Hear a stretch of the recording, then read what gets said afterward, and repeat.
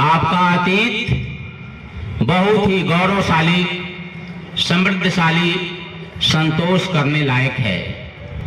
लेकिन इस खुशी के मौके पर अगर हम आत्मचिंतन और आत्मनिरीक्षण न करें तो हमारी बड़ी भारी भूल होगी। आधुनिक बिहार में सौ साल का आधुनिक बिहार हो गया। आज़ादी के पैंसठ साल गुजर गए और हिंदुस्तान के लगभग 600 जिलों में, सबसे पिछड़े 100 जिलों में आपके मधेपुरा जिला का नाम है। हिंदुस्तान के 100 उद्योग शून्य जिलों में आपके मधेपुरा जिला का नाम है। हिंदुस्तान के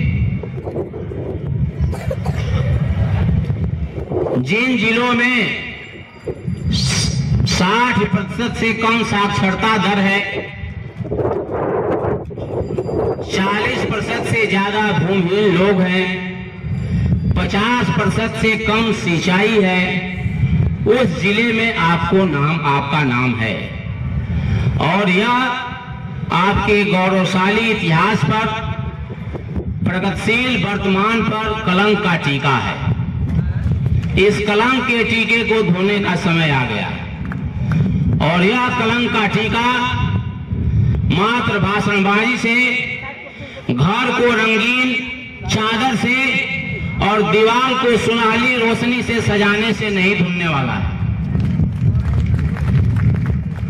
गाँव में आज भी अशिक्षा है। गरीबी है खासकर महिला वर्ग में, पिछड़े और दलित वर्ग के लोगों में। आज भी वहाँ बाल विवाह हो रहे हैं। आज भी वहाँ दहेज हत्याएँ हो रही हैं।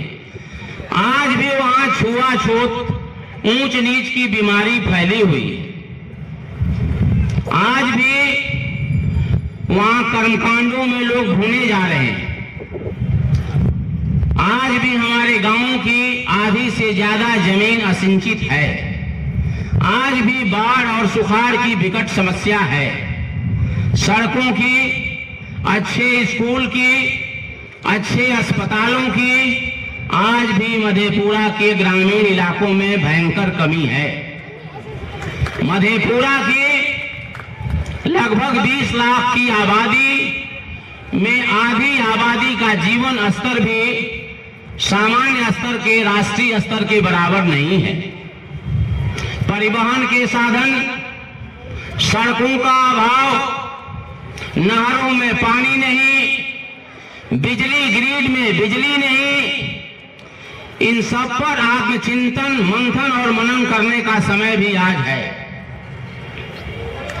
हम केवल अतीत के, बैसाखी के भरोसे बिहार के गौरवगान के भरोसे अपना सर ऊँचा करके नहीं चल सकते।